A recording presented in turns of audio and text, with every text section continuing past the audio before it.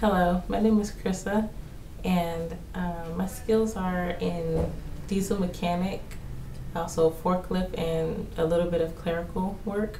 But uh, I would like to focus on a forklift position, although I have previously done diesel mechanic work since 2014 with my military unit.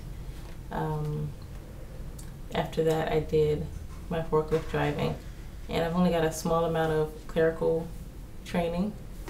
I'm looking specifically for forklift positions, but if there are other opportunities that match my skill set, I will do those. Thank you for your time.